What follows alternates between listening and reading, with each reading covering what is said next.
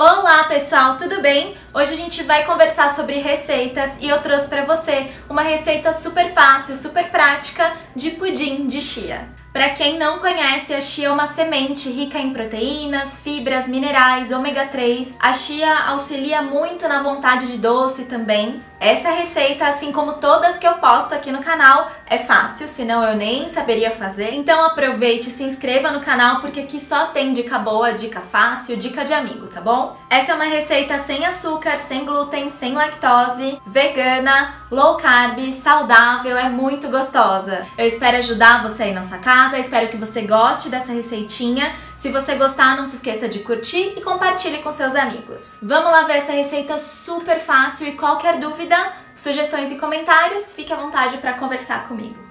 Nós vamos usar 4 colheres de sopa de chia, 200 ml de leite de coco, eu usei o leite de coco caseiro, tem receita aqui no canal, mas pode ser o de supermercado também, e você também pode usar algum leite de castanhas, que também tem receita aqui no canal. Uma colher de sopa de adoçante culinário, eu usei o xilitol, e uma colher de chá de essência de baunilha. O modo de preparo não tem segredo, é só misturar muito bem todos os ingredientes.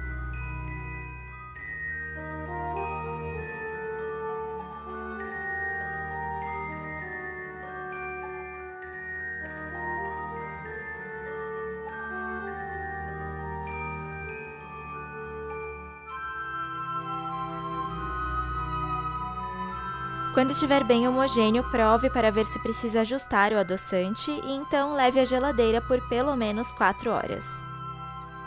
A chia tem uma propriedade super legal que quando hidratada, ela cria uma espécie de gel e traz essa consistência super cremosa para nossa receita. Você pode comer o pudim sozinho assim ou incrementar com nibs de cacau, frutas, geleias, etc. Então acomode o pudim em uma taça ou potinho como preferir, escolha o seu acompanhamento e decore. Eu escolhi frutas vermelhas, framboesa, blueberry e morango. Essa receita rende duas porções, então você pode multiplicar ou dividir conforme a sua necessidade. Além de lindo, ele fica muito gostoso, então faça em casa e depois me conte o que achou, ok?